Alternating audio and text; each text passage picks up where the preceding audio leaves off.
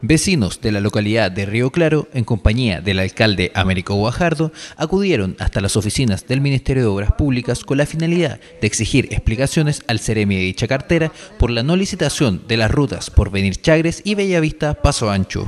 Ya varias veces nos han hecho promesas de mano, inclusive, sobre todo a mí que me la dio la mano la directora del MOP el año pasado en una reunión que tuvimos acá en Talca, prometiéndome como inclusive en forma de como mujer que el, asfalto del camino iba.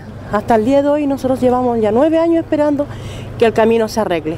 Nos están matando en forma silenciosa, porque respiramos polvo todo el día, las enfermedades bronquiales son gigantes. En la oportunidad mantuvieron una reunión con el Ceremi Enrique Jiménez, quien informó que se agilizarán los trabajos para lograr lo prometido. La hora la vamos a publicar la próxima semana de tal manera de que puedan postular las empresas, después viene la recepción de los antecedentes técnicos, económicos y la obra se va a hacer. Es importante destacar que una ruta de alto tránsito, el alcalde, el consejo regional, el intendente, todos han estado preocupados y tenemos los recursos. Y del convenio 4, donde nosotros hemos ya pavimentado, hemos ya construido varios caminos este es el primero que se licita. A la vez, el alcalde de la zona señaló su tranquilidad con la respuesta de las autoridades. Nosotros estábamos bastante alarmados por esto, porque los vecinos eh, todos los días nos estaban presionando nosotros como municipalidad. Ya si nos deja tranquilo que esta licitación será durante la próxima semana.